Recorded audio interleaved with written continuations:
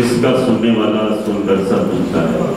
दुनिया की वाहिद ज़ुबान जो दिलों को जोड़ने का काम करती है, जिसमें वैरायटी ऑफ़ पोएट्री है। जिसके चाहने वाले सिर्फ़ मुस्लिम लोग ही नहीं, किसी एक जात, किसी एक मज़हब किसी एक फिरके की ये ज़ुबान नहीं है, बल्कि ये दिलों को जोड़ने का काम करती है। ऐसे ही एक शायर हमारे दरमियान मौजूद है, जो दोनों नावों में बराबर के सवार हैं। जहाँ पर वो हिंदी में शायरी करते हैं, वहाँ पर उर्दू में भी अशार कहते हैं। मेरी मुराद जनाब सतीश शुक्ला रकीब साहब से हैं।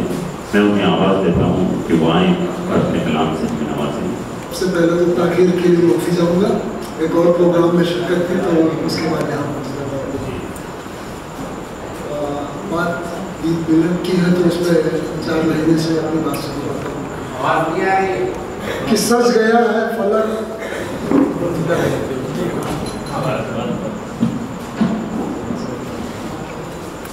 कि सज गया है फलक, चाँद की दीद है। सज गया है फलक, चाँद की दीद है, वो मुबारक तुम्हें ईद है।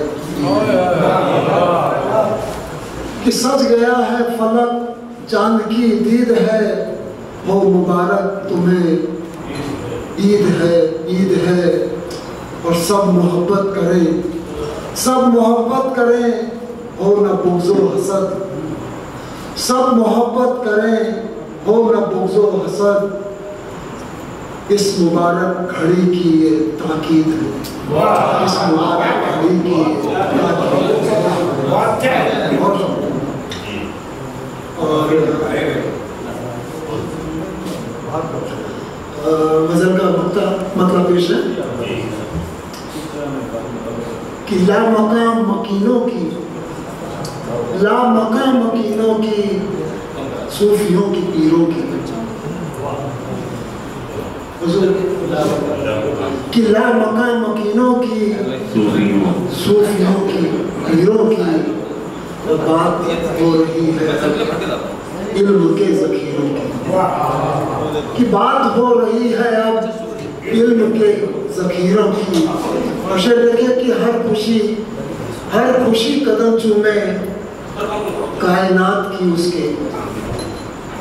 हर खुशी कदम चूमे कायनात की उसके रास आ गई जिसको सोबतें फकीरों की। कि हर खुशी कदम चूमे कायनात की उसके रास आ गई जिसको। फकीरों की। और हाथ ही कि हाथ ही में कातिब ने लिख दिया है मुस्तकबिल।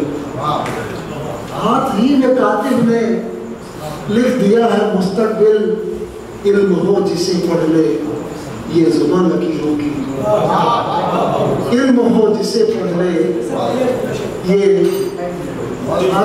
हाथ ही में कातिब ने लिख दिया है मुस्तबिल इल्म हो जिसे पढ़ ले, ये ज़ुबान लकीरों की मशर हुआ के जिस्म की सजावट में, जिस्म की सजावट में रह गए उलझ कर जो। जिस्म की सजावट में रह गए उलझ कर जो रूह तक नहीं पहुँची। फ़िक्र उन हकीरों की। रूह तक नहीं पहुँची। फ़िक्र उन हकीरों की और देख ले रकीब आकर, देख ले रकीब आकर गर नहीं यकीन तुझको। देख ले रकीब आकर गर नहीं यकीन तुझको। हर गुनाह से पहले ज़िंदगी असीरों की। हर गुनाह से पहले ज़िंदगी असीरों की। बहुत बहुत शुक्रिया।